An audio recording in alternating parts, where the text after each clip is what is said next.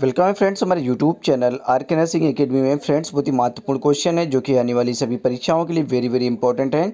तो फ्रेंड्स, बिल्कुल वीडियो को स्किप ना करें और पूरा वीडियो लास्ट तक देखें। तो चलिए हम शुरू करते हैं। हमारा फ़र्स्ट क्वेश्चन आपके स्क्रीन पर है राइट आंसर गेस करें। क्या होगा इसका राइट आंसर बताएँ? क्वेश्चन को पढ़े पहले अच्छे से। A patient is suffering from major depression what symptom will be noticed guess करें, क्या होगा इसका right answer a patient is suffering from major depression what symptoms will be noticed एक रोगी गहरे अवसाद से ग्रस्त है। एक रोगी है जो गहरे अवसाद से ग्रस्त है, उसमें क्या लक्षण दिखाई देंगे? बताएँ यहाँ पे क्या होगा इसका राइट आंसर गेस करें। ऑप्शन आपकी स्क्रीन पर हैं। पहले अच्छे से क्वेश्चन को पढ़ लें, उसके बाद ये आंसर दें। फ्रेंड जितनी भी क्वेश्चन है, सभी साइकोलॉजी और मेंटल हेल्थ से रिलेटेड हैं। ठीक है साइकोलॉजी और मेंटल हेल्थ से रिलेटेड क्वेश्चन है। तो पढ़े क्वेश्चन को अच्छे से। फिर आंसर दें। तो देखिए, यहाँ पे ऑप्शन सी आपका राइट होगा लॉस ऑफ़ कंसंट्रेशन एकाग्रता में कमी। लॉस ऑफ़ कंसंट्रेशन एकाग्रता में कमी। क्वेश्चन कह रहा है आपका कि a patient is suffering from major depression what symptoms will be noticed एक रोगी गहरे अवसाद से ग्रस्त है, उसमें क्या लक्षण दिखाई देंगे? तो ऑप्शन सी यहाँ पे आपका राइट होगा लॉस ऑफ़ कंसंट्रेशन एकाग्रता में कमी। ठीक है? तो अब यहाँ पे हम एक्सप्लेन देखते हैं कि अवसाद या फिर डिप्रेशन एक मनोवृत्ति विकार है, ठीक है डिसऑर्डर है। अवसाद या फिर जो डिप्रेशन है, वो एक मनोवृत्ति है, जिसमें ग्रस्त रोगी में एकाग्रता की कमी हो जाती है, ठीक है। क्या होता है कि लॉस ऑफ़ कंसंट्रेशन हो जाता है, एकाग्रता में उसकी कमी हो जाती है। अकेलापन, भूख, ऊर्जा, स्तर या फिर दैनिक व्यवहार आदि में भी परिवर्तन आ जाता है, ठीक है। जब लॉस ऑफ़ कंसंट्रेशन की कमी होती है तो ये सारी प्रॉब्लमें हो जाती हैं। तो चलिए हम नेक्स्ट क्वेश्चन देखते हैं। दो नंबर क्वेश्चन आपकी स्क्रीन पर है। पढ़े क्वेश्चन को जैसे which type of hallucination is more common in delirium मिन्सिया dementia guess करें, क्या होगा इसका राइट आंसर बताएँ। Which type of hallucination is more common in delirium dementia किस प्रकार के मति भ्रम? किस प्रकार के मति भ्रम में प्रलाप पागलपन ज़्यादा सामान्य है? बताएँ, क्या होगा इसका राइट आंसर किस प्रकार के मति भ्रम में प्रलाप या फिर पागलपन ज़्यादा सामान्य लक्षण है। बताएँ गेस करें। पढ़ें क्वेश्चन को पहले अच्छे से। तो देखिए, यहाँ पे ऑप्शन ए आपका राइट होगा। विजुअल हेलुसिनेशन दृश्य मति भ्रम which type of hallucination is more common in delirium या फिर डिमेंशिया तो किस प्रकार के मति भ्रम है? तो आपको ऑप्शन ए राइट होगा। आपका विजुअल हेलुसिनेशन है, ये दृश्य मति भ्रम है। अब यहाँ पे हम एक्सप्लेन देख लेते हैं कि दृश्य मति भ्रम जिसे कहा जाता है विजुअल हेलुसिनेशन सबसे सामान्य मति भ्रम होता है।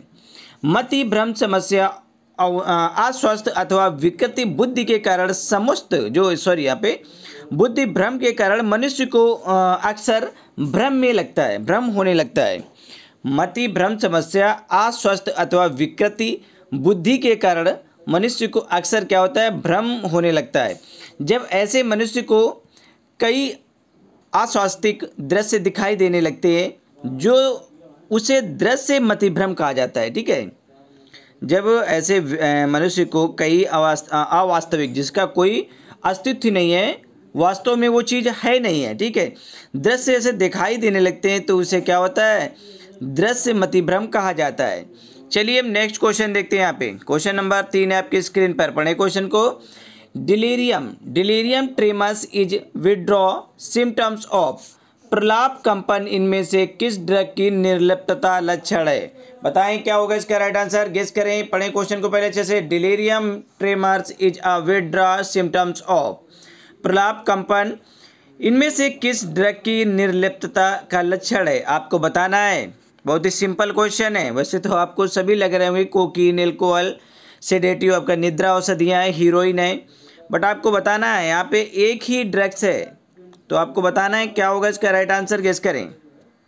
तो देखिए एल्कोहल होगा ऑप्शन बी यहाँ पे आपका राइट होगा, ठीक है एल्कोहल ठीक है तो चलिए हम यहाँ पे एक्सप्लेन देखते हैं। प्रलाप कंपन डिलेरियम ट्रेमर्स शराब छोड़ने के कारण होने वाला एक विकार है। प्रलाप जो कंपन है, जिसे डिलेरियम ट्रेमर्स कहा जाता है, ठीक है शराब छोड़ने के कारण होने वाला एक प्रकार का डिसऑर्डर है। प्रलाप कंपन में व्यक्ति के दिल की जो धड़कन होती है, वो सामान्य हो जाती है, ठीक है। जब व्यक्ति शराब छोड़ देता है तो उसकी जो दिल की धड़कन है, वो क्या कहते होती है, सामान्य हो जाती है और उसे पसीना आने लगता है। प्रलाप कंपन कभी कभी व्यक्ति को मौत तक भी ले जा सकता है। जो प्रलाप कंपन है, ये कभी कभी व्यक्ति को मौत तक भी ले जा सकता है। क्वेश्चन नंबर चार है आपकी स्क्रीन पर पढ़े पहले क्वेश्चन को। The cause of suicide is आत्महत्या के कारण कौन से? आपको बताना है। Suicide the cause of suicide is आत्महत्या के कारण बताने हैं आपको। कौन सा आत्महत्या का कारण? तो देखिए यहाँ वर्दलेसनेस वर्दलेसनेस हो गया आपका होपलेसनेस हो गया, निराशा भी हो गया आपका हेल्पलेसनेस हो गया, असहाय हो गया ऑल ऑफ़ दी एब यहाँ पे उपरोक्त सभी हैं। ठीक है, जो आत्महत्या के कारण हैं, ये सभी हैं।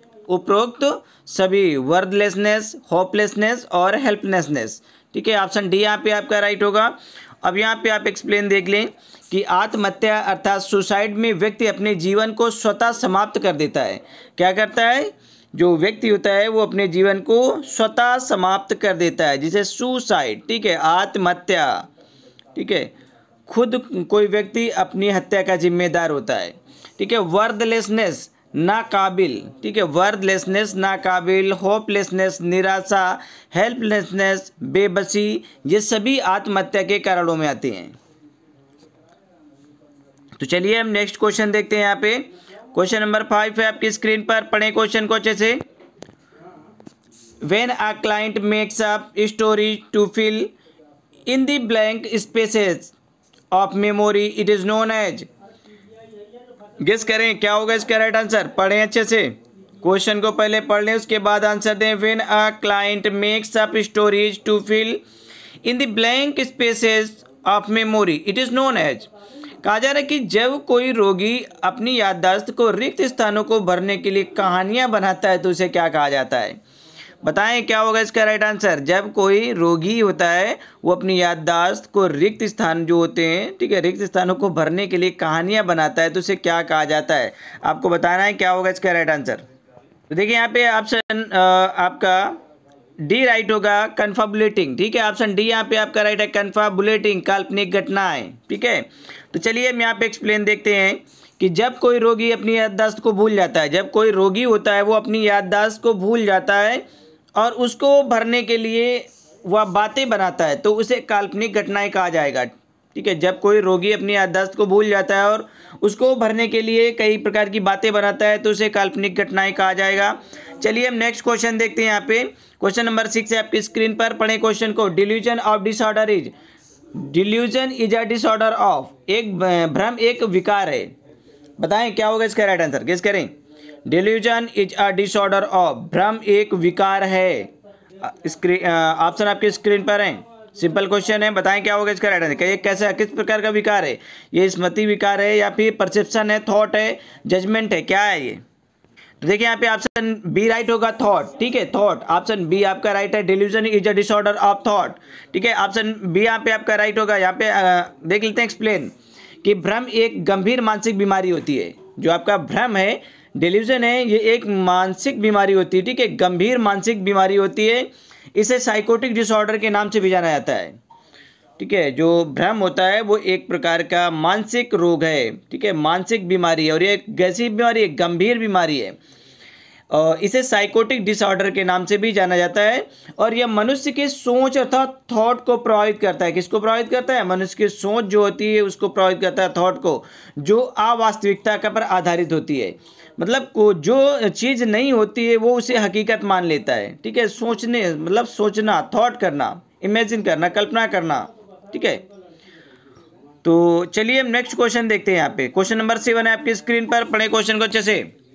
The state of complete physician sorry physical the state of complete physical mental and social well being and not merely absence of any disease is called बताएँ यहाँ पे क्या होगा इसका राइट आंसर पूर्ण शारीरिक, मानसिक और सामाजिक कल्याण की स्थिति और किसी भी प्रकार की बीमारी नहीं है, उसे क्या कहा जाता है? देखिए, बहुत ही अच्छा क्वेश्चन है। कि the state of complete physical mental and social well being and not merely absence of any disease is called कहा जा रहा है कि पूर्ण शारीरिक, मानसिक और सामाजिक कल्याण की स्थिति और किसी भी प्रकार की बीमारी नहीं है तो उसे क्या कहा जाएगा? अब आपको बताना है, क्या होगा इसका राइट आंसर गेस करें। ऑप्शन आपकी स्क्रीन पर है। तो देखिए, यहाँ पे ऑप्शन डी आपका राइट होगा। ऑप्शन डी राइट होगा हेल्थ ठीक है? स्वास्थ्य। ऑप्शन डी राइट होगा यहाँ पे हेल्थ अर्थात स्वास्थ्य। अब यहाँ पे आप एक्सप्लेन देख लें कि पूर्ण शारीरिक, मानसिक और सामाजिक कल्याण की स्थिति जिसमें किसी भी प्रकार की बीमारी नहीं है, उसे स्वास्थ्य कहा जाता है, ठीक है? स्वास्थ्य। पूर्ण शारीरिक, मानसिक और सामाजिक कल्याण की स्थिति जिसमें किसी भी प्रकार की बीमारी नहीं है, उसे स्वास्थ्य कहा जाएगा। तो चलिए हम यहाँ पे नेक्स्ट क्वेश्चन देखते हैं। क्वेश्चन नंबर एट है आपके स्क्रीन पर। पढ़े क्वेश्चन को अच्छे से। अच्छा क्वेश्चन है। ठीक है, और ये जितने भी क्वेश्चन है, सभी प्रीवियस ईयर में पूछे गए क्वेश्चन है। तो बिल्कुल भी वीडियो को स्किप ना क्या करें, और ज़्यादा से ज़्यादा आप कमेंट बॉक्स में आंसर दिया करें, ठीक है? मैंने बता दिया है कि ये जो क्वेश्चन है, वो साइकोलॉजी एंड मेंटल हेल्थ से रिलेटेड क्वेश्चन है। क्वेश्चन को पढ़ें। Formed visual hallucination are seen in the lesion of बताएँ यहाँ पे क्या होगा इसका right answer form visual hallucination are seen in the lesion of देखिए दृष्टि मति भ्रम की क्षति किसमें देखा जाता है? बताएँ, क्या होगा इसका राइट आंसर गेस करें ऑप्शन आपकी स्क्रीन पर formed visual hallucination are seen in the lesion of तो देखिए, यहाँ पे ऑप्शन बी आपका राइट होगा टेम्पोरल ऑप्शन बी यहाँ पे आपका राइट है टेम्पोरल कहा जा रहा है कि दृष्टि मति भ्रम क्षति किसमें देखा जाता है? तो यहाँ पे देखिए टेम्पोरल लोब में देखा जाता है। ठीक है ऑप्शन बी आपका राइट होगा। और यहाँ पे हम एक्सप्लेन देख लेते हैं। कि दृष्टि मति भ्रम की क्षति टेम्पोरल लोब में देखी जाती है। दृष्टि मति भ्रम की जो क्षति होती है, हानि होती है, उसको टेम्पोरल लोब में देखा जाता है।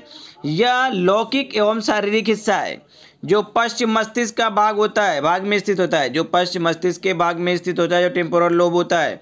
मति भ्रम के इस प्रकार के व्यक्ति उन चीज़ों को देखते हैं, जो वहाँ है ही नहीं। ठीक है, ये उन चीज़ों को देखने, देखते हैं या देखने की कोशिश करते हैं जो वहाँ पे हकीकत में होती ही नहीं है।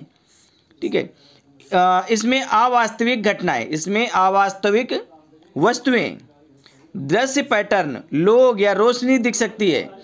जैसे व्यक्ति किसी ऐसे व्यक्ति को या फिर रोशनी को देख सकता है जो वास्तव में वहाँ पर नहीं है।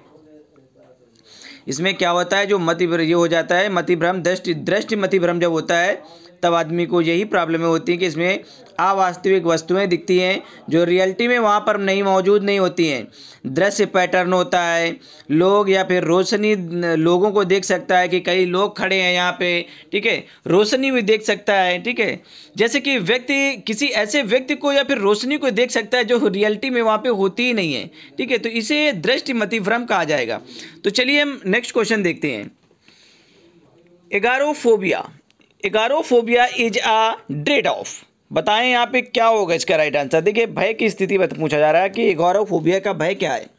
आपको बताना है क्या होगा इसका right answer agoraphobia is dread of. बताएँ क्या होगा इसका राइट आंसर गेस करें ऑप्शन आपकी स्क्रीन पर है। सिंपल क्वेश्चन है। देखिए, सभी पूछे गए क्वेश्चन है, जितने भी हैं। कोई भी क्वेश्चन फालतू नहीं है। सभी क्वेश्चन आए हुए क्वेश्चन है और प्रीवियस ईयर में पूछे गए क्वेश्चन है। तो बताएँ यहाँ पे क्या होगा इसका राइट आंसर गेस करें। तो देखिए यहाँ पे ऑप्शन बी आपका राइट होगा ओपन प्लेसेस खुली जगह। ऑप्शन बी यहाँ पे राइट होगा ओपन प्लेसेस खुली जगह। Agoraphobia dread of open places ठीक है? तो अब यहाँ पे हम एक्सप्लेन देखते हैं। एगारोफोबिया एक चिंता का विकार है। ठीक है? ये डिसऑर्डर है। क्या है? एंक्सिटी डिसऑर्डर है। चिंता का विकार है। एगारोफोबिया एक चिंता का विकार है, जो खुले स्थानों या फिर स्थानों के डर के कारण लोगों के लिए घर से चले जाने चले जाने में कठिनाई पैदा होती है, ठीक है? घर से चले जाने में कठिनाई पैदा होती है, इस विकार में व्यक्ति उन जगहों पर जाने से बचता है। इस प्रकार मतलब इस विकार में जो, इस प्रकार जो डिसऑर्डर है, इसमें व्यक्ति क्या होता है कि उस जगह पर जाने से बचते हैं, जिससे उन्हें भय लगता है, जिससे उन्हें डर लगता है, ठीक है? भय लगता है।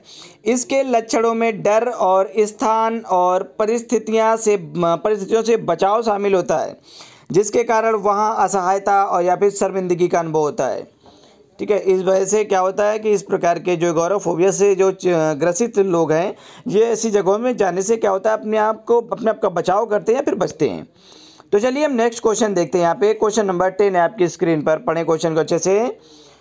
Who coined the term schizophrenia अब यहाँ पे आपको बताना है। बहुत बार आप पढ़ चुके होंगे क्वेश्चन कई बार आपने पढ़ा होगा सीजोफ्रेनिया। अब सीजोफ्रेनिया आपको बताना है, क्या होगा इसका राइट आंसर देखिए सिंपल क्वेश्चन है, सीजोफ्रेनिया। सीजोफ्रेनिया शब्द किसने दिया था? ठीक है, अभी तक तो आपने पढ़ा होगा कि सीजोफ्रेनिया क्या है बट ये आपको सीजोफ्रेनिया किसने दिया था? जो शब्द है, इसको किसने गढ़ा है? आपको बताना है, सीजोफ्रेनिया। देखिए, यहाँ पे ऑप्शन ए आपका राइट होगा ब्लेयूलर ठीक है? ब्लेयूलर ऑप्शन ए यहाँ पे आपका राइट है। सीजो ब्रेफ्रेनिया जो शब्द है इन्होंने गढ़ा था ब्लेयूलर ने। अब यहाँ पे आप एक्सप्लेन देख लें कि सीजो, जो सीजोफ्रेनिया है, ठीक है? सीजोफ्रेनिया एक मानसिक विकार है क्या ये? मानसिक डिसऑर्डर है, ठीक है? सीजोफ्रेनिया एक मानसिक विकार है, जिसमें असामान्य व्यवहार, अजीब भाषण और वास्तविकता को समझने की क्षमता में कमी हो जाती है। इसे सीजोफ्रेनिया कहा जाता है और जो सीजोफ्रेनिया शब्द है, इसे ब्लेयूलर ने दिया था या गढ़ा था, ठीक है? अब हम यहाँ पे क्वेश्चन देख लेते हैं। नेक्स्ट क्वेश्चन है हमारा। क्वेश्चन नंबर इलेवन है आपकी स्क्रीन पर। पढ़ें क्वेश्चन को अच्छे से, उसके बाद आंसर दें। क्या होगा इसका राइट आंसर बताएँ। तो पढ़े next question eleven number question को अच्छे से पढ़े, उसके बाद आंसर दें। Which symptom is not shown in the patient with anxiety चिंता के रोगी में कौन सा लक्षण नहीं देखा जा सकता है? क्वेश्चन को पढ़ें, उसके बाद आंसर दें। अच्छे से पढ़ लें पहले, उसके बाद ही आंसर दें। जल्दबाजी बिल्कुल भी मत करें। Which symptoms is not shown in the patient with anxiety चिंता के रोगी, ठीक है? जो रोगी चिंता कर रहा है, उसमें कौन सा लक्षण नहीं देखा जाता है? ठीक है, चिंताग्रस्त रोगी में कौन सा लक्षण दिखाई नहीं देता है? जल्दी से बताएँ, क्या होगा इसका राइट आंसर किस करें ऑप्शन आपकी स्क्रीन पर है।